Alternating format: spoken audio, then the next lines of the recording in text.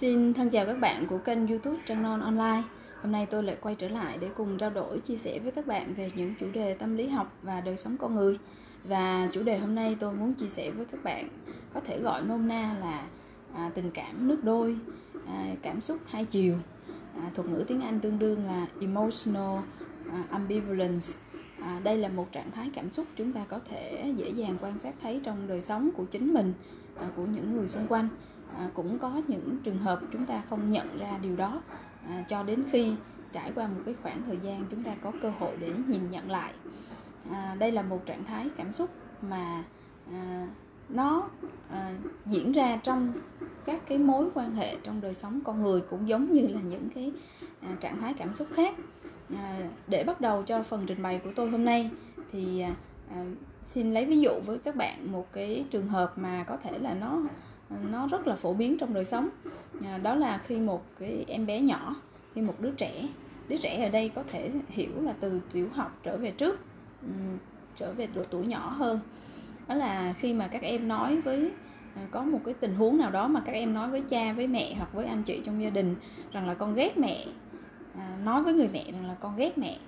Ừ, đây là cái tình huống mà chúng ta có thể cùng nhau phân tích về cái trạng thái tình cảm hay là cảm xúc nước đôi. À, đứa trẻ nói là con ghét mẹ thì à, người lớn có thể dễ dàng thấy rằng là nó nói như vậy thì không hoàn toàn có nghĩa là đứa trẻ đó ghét mẹ. Tức là đây là một tình huống chúng ta không có hiểu cái chuyện đó dựa trên câu từ. À, mà có thể liên quan đến cái chuyện là đứa trẻ có thể đang giận mẹ một điều gì đó hoặc đứa trẻ đang cố gắng nói với mẹ một cái điều khác. Và nhiều cái học giả à, tâm lý và cả triết học có nghiên cứu về chuyện này. Và họ nói rằng là à, đó là cái trạng thái mà đứa trẻ thể hiện sự bất lực à, và sự hụt hẫng trước một cái tình huống nào đó. Và khi trẻ nói ra cái câu là con ghét mẹ đó là một cái sự nỗ lực một cái sự cố gắng gửi đến mẹ một cái thông điệp rằng là à, muốn giống như là muốn làm cho mẹ cảm thấy à, khó chịu cảm thấy hơi đau đớn để mà có động lực thay đổi cái điều gì đó bên trong mình. Và khi người mẹ à, có cái động thái thay đổi thì à, thì đứa trẻ có hy vọng rằng là mẹ sẽ làm được những cái điều mà đứa trẻ mong muốn. Và những điều này thường là những điều liên quan đến cái mong mỏi về à, về mặt tinh thần về mặt tâm trí chứ không phải là những cái mong mỏi về mặt vật chất. À, cuộc sống cho thấy rằng là mỗi người chúng ta dù là trẻ em hay là người lớn thì đều có cái trạng thái cảm xúc hai chiều trong một mối quan hệ trong một cái hoàn cảnh trong một tình huống nào đó. À, à, chúng ta cùng nhau nói chuyện một chút về Sigmund Freud là ông tổ của phân tâm học. Nếu mà ai học tâm lý thì đều đều biết đến cái nhân vật này. À, Sigmund Freud có đề cập đến cái trạng thái à, mà ông mượn à, ông mượn cái tên gọi ông mượn từ cái những cái thần thoại đó là mặc cảm Oedip. À, để nói đến cái chuyện là một cái người con trai à, ganh ghét với à, với cha mình để giành tình cảm của mẹ. Và mặc cảm Electra để nói đến cái đứa con gái à, ganh tị với mẹ để tranh giành tình cảm với cha. Thì à, à, Freud có đề cập cho chúng ta cái trạng huống cái tình huống này à, giống như thể là cũng là một cái yếu tố liên quan đến cái tình cảm mà nước đôi hay là cảm xúc hai chiều. Tức một một mặt đứa con trai vừa à, gắn bó với vừa rất là yêu mến cha mình nhưng à, để nhưng lại ganh tị với cha để uh, dành tình cảm từ phía mẹ và ngược lại mặc cảm Oedip đối với con gái cũng như vậy. À, muốn gắn bó với cha thì ganh tị với mẹ.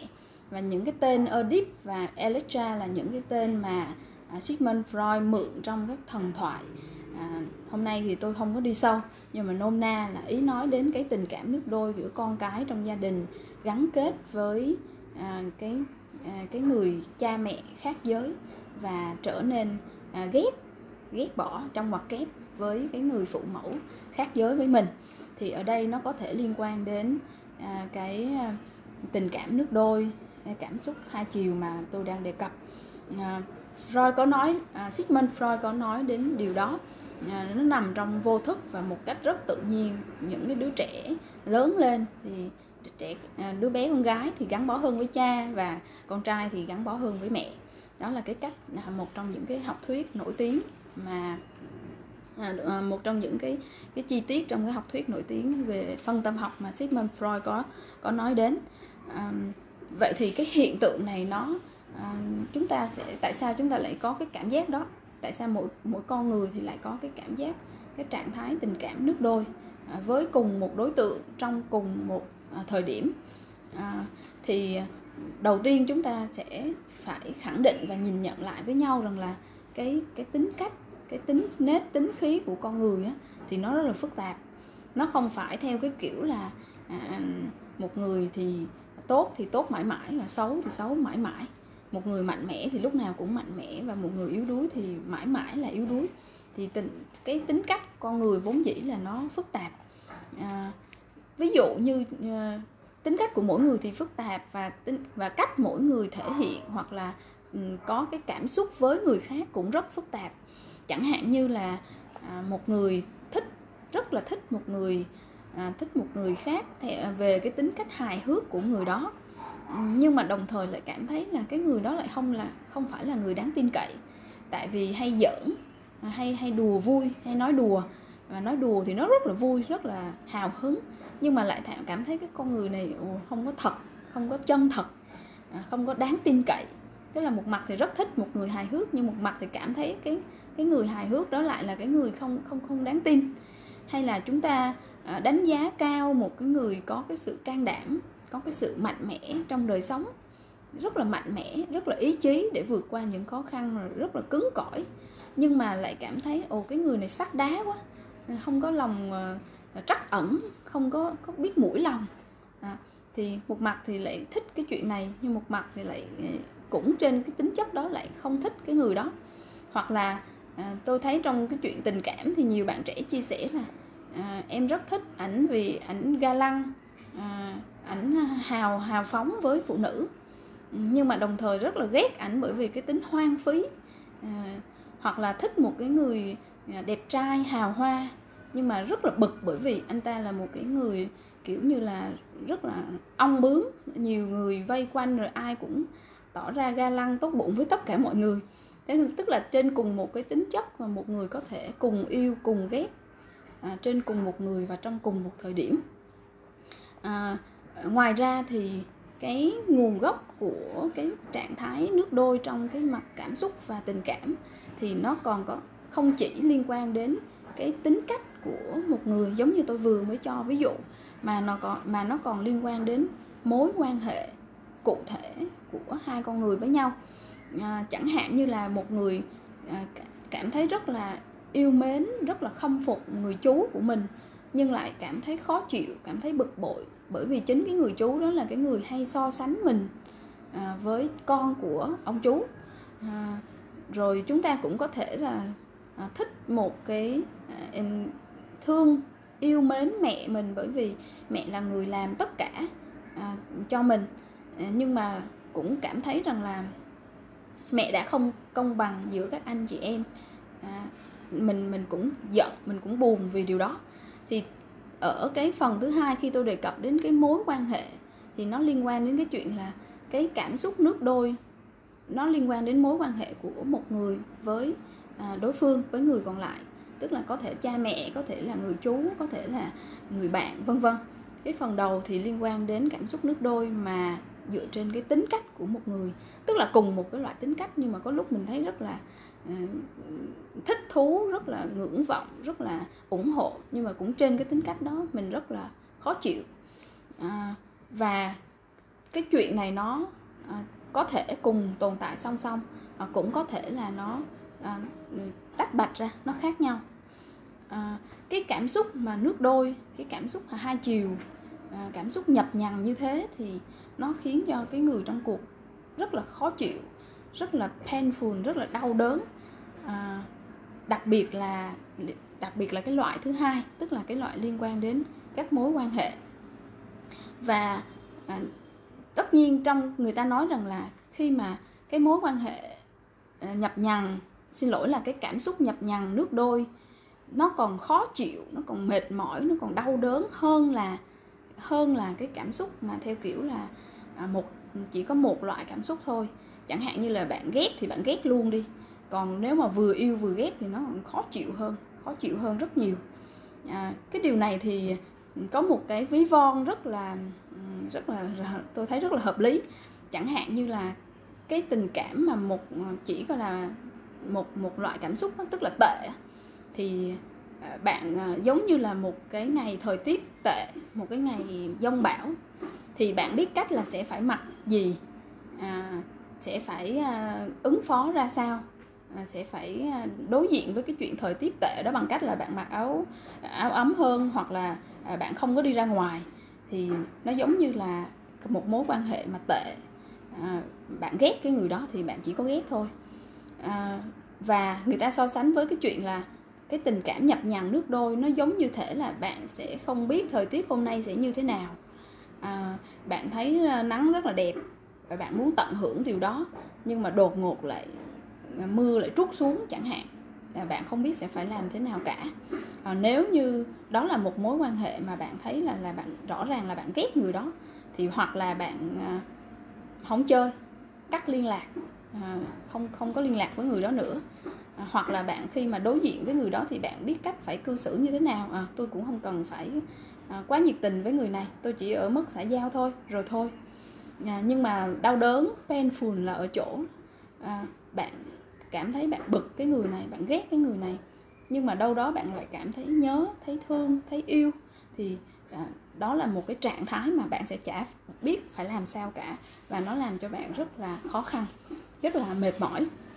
Dạ à, trong cái à, thơ văn và nghệ thuật thì có rất là nhiều cái tác phẩm nghệ thuật có đề cập đến chuyện này đặc biệt là phim ảnh thơ ca à, rồi những cái bài nhạc thậm chí là các cái tác phẩm mà điêu khắc và nghệ thuật à, sẽ rất là thành công nếu như một cái tác giả tạo ra một cái sản phẩm khiến cho um, khiến cho người xem khiến cho cái người thưởng ngoạn nghệ thuật cảm nhận được những cái cảm xúc hai chiều cùng tồn tại một lúc. Và ờ, nếu mà cảm nhận được cái loại cảm xúc hai chiều này thì nó đem lại cho cái người khán giả cái người thưởng thức nghệ thuật một cái điều gì đó rất là thú vị kiểu như là rất là đã đã. À, ở Việt Nam thì tôi không có nhớ nhiều tác phẩm nghệ thuật vào lúc này nhưng mà có một cái bài hát rất là nổi tiếng đó là à, giận thì giận mà thương thì thương. Một mà ai cũng có thể có thể nhớ có thể biết thì ờ, cái ý tôi đang nói là khi trong các cái tác phẩm nghệ thuật, một người cảm nhận, một người tác giả mà cảm nhận được cái cái tính chất hai chiều của nhân vật khi họ cùng thể hiện, vừa yêu, vừa ghét, vừa căm hận, nhưng mà vừa cảm thấy là không thể quên được, thì ờ, đó là một cái cái cái cái thành công của nghệ thuật.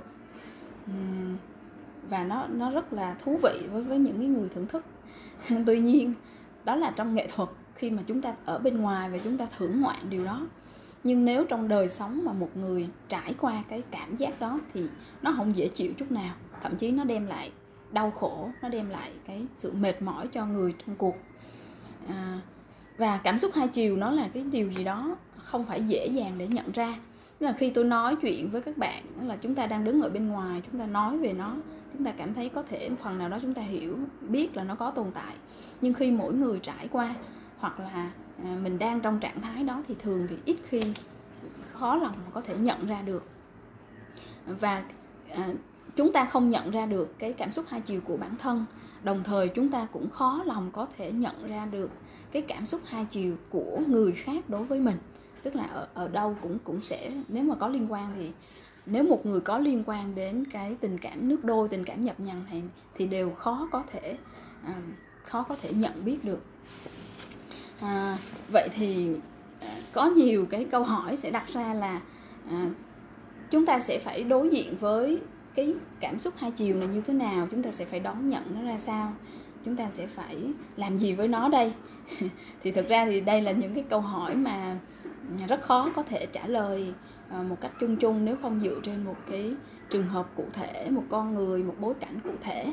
Nhưng tuy nhiên để có thể nói à, chung chung nhất thì chúng ta vẫn có thể à, từ từ sẽ trải nghiệm trở lại cái loại cảm xúc của mỗi người và thấy rằng là à, người ta đau khổ bởi vì à, một một người đau khổ bởi vì cố gắng loại trừ à, một trong hai cảm xúc trong khi đó bản chất của nó là nó tồn tại song song nó tồn tại hai chiều. À, người ta cũng cố gắng à, cố gắng thuyết phục bản thân rằng là tôi yêu người đó hoặc là tôi ghét người đó chứ nó không có cái chuyện là tồn tại cả hai.